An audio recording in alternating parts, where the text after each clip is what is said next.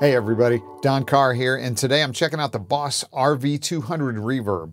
Like all the pedals in Boss's 200 series, it sits in between their classic single pedal and the larger 3-button 500 series. It's got expanded sounds and functionality versus the single pedals, but not quite as deep as the 500 series. Now with that being said, here's what it does have. It has 12 algorithms, all of the effects controls are on the face of the pedal. Knobs, switches, and buttons, no menu diving to edit sounds five presets that are easily accessed, and up to 127 total presets, mono or stereo in and out, 96K sampling rate, 32-bit conversion, and 32-bit floating point processing, MIDI in and out, and there's a jack for an expression pedal or a dual foot switch. There are also custom foot switch parameters, including warp, hold, twist, and fade. Checking out the pedal, the controls are time, which is reverb length, pre-delay, which is the amount of time before the reverb activates, effect level, which is wet dry balance, and low and higher EQ controls for the reverb.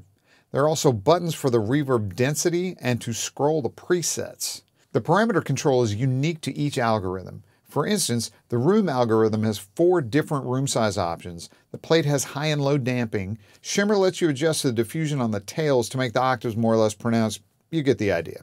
I'll play through a few sounds so you can see how versatile it is. I'll start with the RV200 bypassed. Thank you.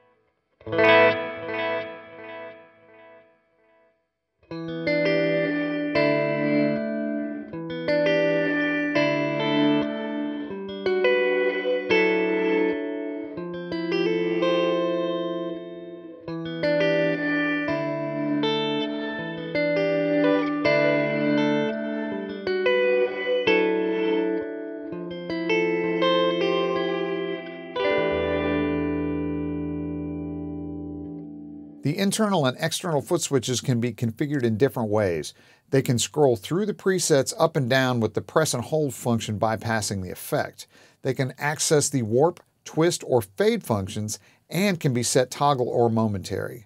The default foot switch setting for presets is to scroll through the first five presets, but you can change that to access all 127 presets. To access the menu options, hold the memory and density buttons and use the time control to scroll the options.